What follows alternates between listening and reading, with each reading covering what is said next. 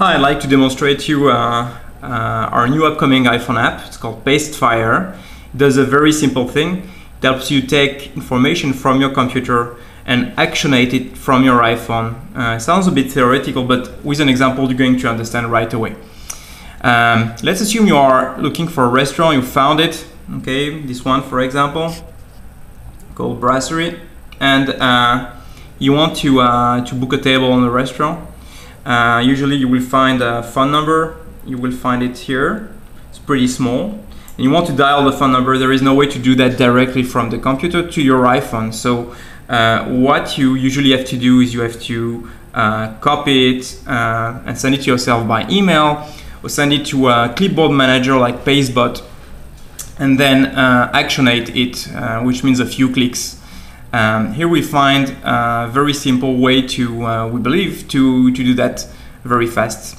Uh, what you need to do is take the number, go to Pastefire, paste it, and send it to yourself. It's done, it's sent to your iPhone. All you have to do now is take your iPhone, open Pastefire, it will automatically send information, but also will automatically dial the phone number for you. Uh, so you don't even have to uh, to look for uh, for a shortcut to find it. Okay, that's pretty cool. Uh, it can be even faster uh, if you go to uh, to to our website. There is a bookmarklet here. Okay, let me show you an example with the bookmarklet. And with that bookmarklet, here is the phone number selected you don't even have to go to Pastefire site. You just select it. You open Pastefire again from your mobile phone.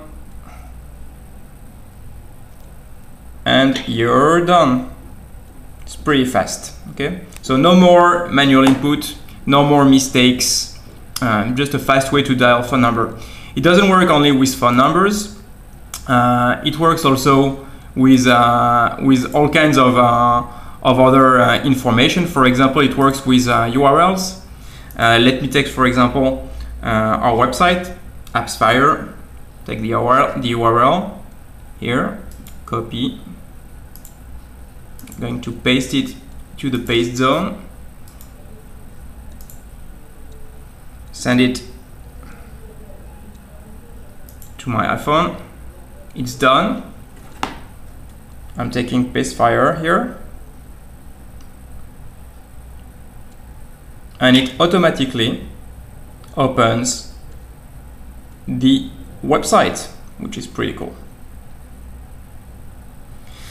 You can also uh, deactivate the automated mode so you can take other types of actions, send it to Twitter and stuff like that. But the automated mode makes it uh, very, very efficient.